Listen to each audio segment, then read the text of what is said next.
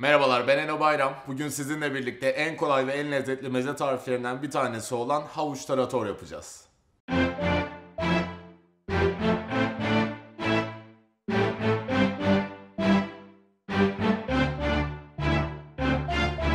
Tarifimizi yaparken kullanacağımız malzemelerimiz 3 adet orta boy havuç, 350 gram süzme yoğurt, yeteri kadar zeytinyağı, 3 diş sarımsak ve tuz, karabiber olacak.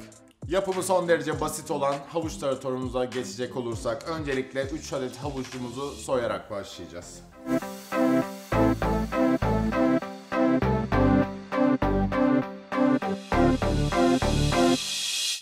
Havuçlarımızı soyduktan sonra sarımsaklarımızı olabildiğince küçük şekilde parçalayacağız.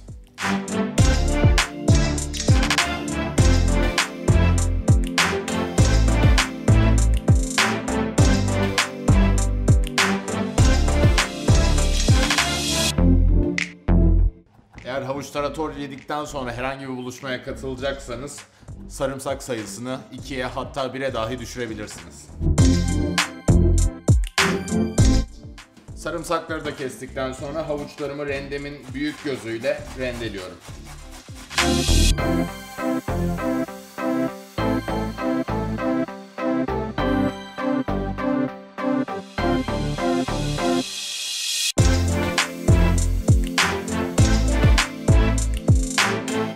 Malzemelerimizi hazırladıktan sonra orta boy bir tavada zeytinyağı içinde öncelikle sarımsaklarımı daha sonra da rendelenmiş havuçlarımı karamelize olana kadar kavuruyor olacağım.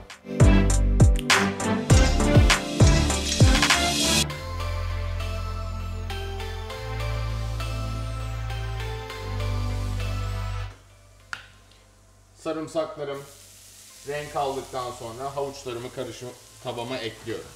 İstediğimiz şey malzemelerimizi çok fazla pişirmek değil, sadece ısıyla birlikte içlerindeki şekeri karamelize edip birazcık da yumuşamalarını sağlamak olacak.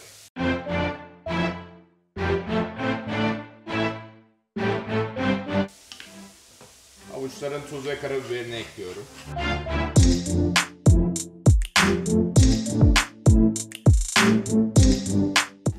Havuçlarımız artık yumuşayacak noktaya geldiğinde onları ateşten alıp bir kabın içine koyarak soğumaya bırakıyoruz ve orada yoğurt karışımını hazırlayacağız.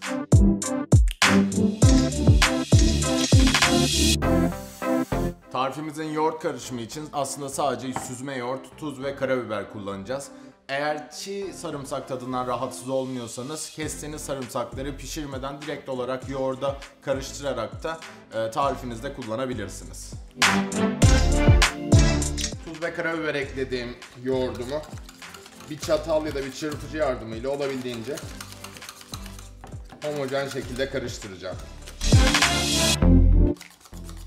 Karışımınızın daha sıvı olmasını isterseniz bir miktar su ekleyip havuçları daha iyi sarmasını sağlayabilirsiniz. Yoğurdumuzu çırptıktan sonra havuçlarla birleştirmeden önce kenarda bekletiyoruz. Evet pişirdiğimiz havuçlar soğuduktan sonra yoğurtla birlikte karıştırıp servise hazırlayacağız.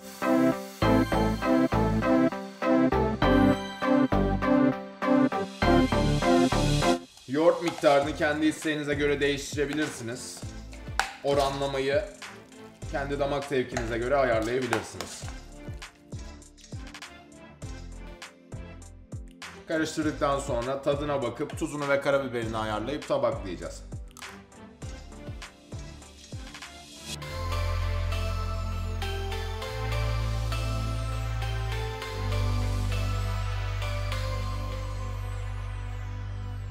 Tabakladığımız taratorumuz hazır.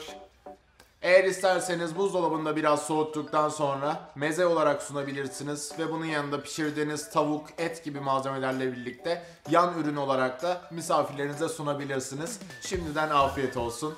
Eğer beğendiyseniz beğenmeyi, e, abone olmayı ve gelecek haftalarda görmek istediğiniz tarifleri yorum olarak belirtmeyi unutmayın. Kendinize iyi bakın.